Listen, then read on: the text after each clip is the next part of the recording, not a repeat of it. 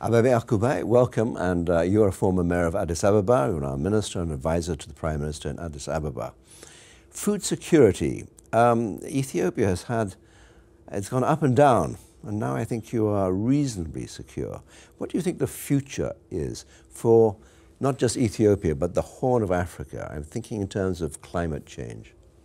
Yeah, I mean, the first thing uh, is that uh, African countries should focus on agriculture and one of the uh, problems in Africa has been many countries have neglected the agricultural sector and we use agricultural sector for economic takeoff.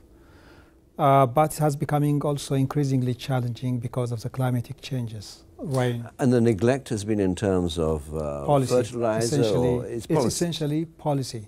Many countries have not have a very uh, clear uh, long-term development policy and without that you cannot make a change. There is no shortcut. And climate has becoming, is becoming more challenging because rainfalls are becoming unpredictable. In this situation, it requires a transformation of agriculture that uh, shifting from rain-fed to irrigated agriculture and also introducing technology for higher productivity and uh, Would you include uh, genetically modified We don't exclude it. In our policy, we, it's, it's, it's part of the solution like in cotton, it could be a very good uh, solution. But we also have to take uh, precautions.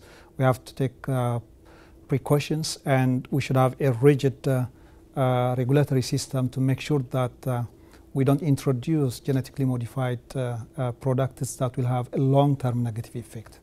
How helpful for you is, is an organization such as the World Policy Conference in exchanging ideas? It's, uh, it's a, an important platform, and, uh, and the benefit is that, first of all, it's uh, possible to discuss international economic uh, uh, uh, governance systems, which are critical because least developing countries or even developing countries need an environment where the international economic order is conducive for, for, for them.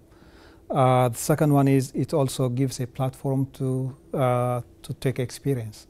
this morning, a person was referring to Brazilian experience in agriculture. Uh, so it has become a very good source of experience and also uh, to voice out also our concerns and also our perspective on how the international environment should look. Arkebe, thank you so much. Thanks.